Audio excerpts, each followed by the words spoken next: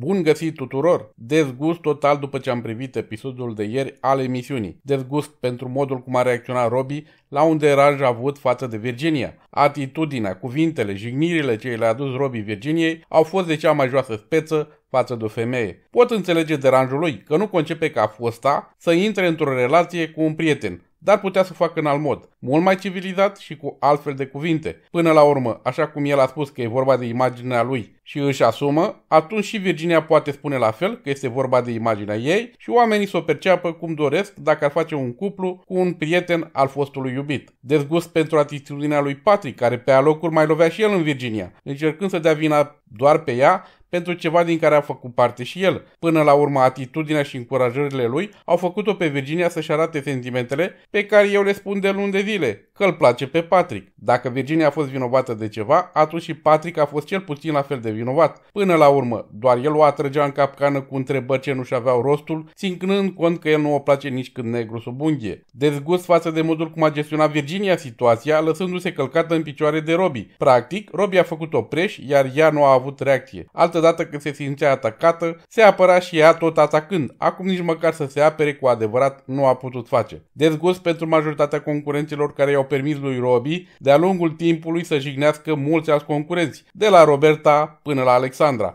ca acum să le ia în vizor exact pe cele care îi luau apărarea altădată, Julia și Virginia. Dezgust pentru modul cum moderatoarea știu să apere televiziunea la care lucrează, pentru că la întrebarea ei despre jigniri, Robbie a spus că e vorba de imaginea lui și își asumă, total eronat, dacă era la el acasă, în club sau prin alte părți, se putea spune astfel, dar aici se află la televizor și reprezintă postul de televiziune, astfel că e vorba de imaginea televiziunii, iar moderatoarea ori nu a vrut, ori nu a realizat că ar trebui să fie pus la punct. Deocamdată cam atât până data viitoare, toate cele bune vă doresc!